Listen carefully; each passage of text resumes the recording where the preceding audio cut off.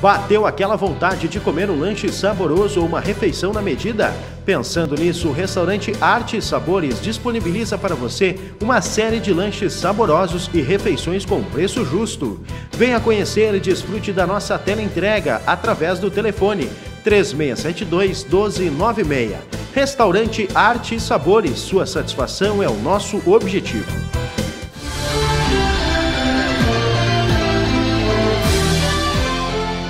A Polícia Civil realizou na tarde desta terça-feira, 18 de abril, a apreensão de dois revólveres calibre 32 e 38 municiados e uma espingarda de pressão, além de munições em uma residência na rua Cruz Alta, no bairro Viegas, em Camaquã. A ação, coordenada pela delegada Vivian Sander, contou com o apoio de quatro agentes e uma viatura da Delegacia de Pronto Atendimento e da Delegacia de Polícia de Camaquã. No momento da apreensão, o proprietário dos objetos não estava no local. O indivíduo responde por crimes de maus tratos a pessoas e por porte ilegal de armas. A polícia realiza buscas ao suspeito, mas até o momento ninguém foi preso. A Polícia Civil segue investigando o caso.